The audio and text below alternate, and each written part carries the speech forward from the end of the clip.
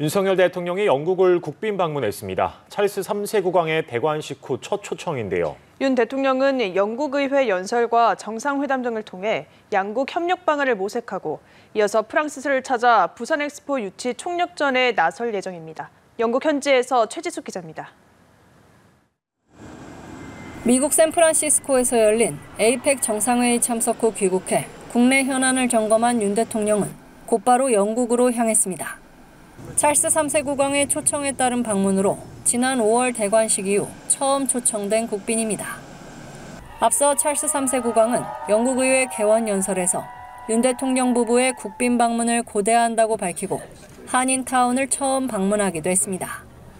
국빈 일정은 공식 환영식을 시작으로 환영 오찬과 한국전쟁 참전 기념비 헌화, 웨스트민스터 사원 방문 등으로 이어질 예정입니다.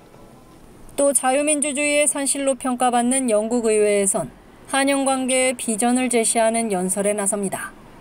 방문 기간 리시 수낙 총리와의 정상회담도 예정돼 있는데 다양한 분야의 전략적 협력을 도모한다는 계획입니다. 그래서 양국은 디지털, AI, 사이버 안보, 원전, 방산, 바이오, 우주, 반도체, 해상 풍력, 청정 에너지 등 다양한 분야의 전략적 협력 강화 방안을 논의할 예정입니다. 경제 외교 측면에선 네 가지 목표를 설정했습니다. 첫 번째는 신시장 확보, 두 번째는 공급망, 세 번째는 첨단 과학 기술, 네 번째는 무탄소 에너지 연대입니다. 윤 대통령은 영국 국빈 일정을 마무리하는 대로 프랑스 파리로 이동해 각국 국제박람회 기구 대표를 상대로 부산 엑스포 유치 교섭전에 나설 예정입니다.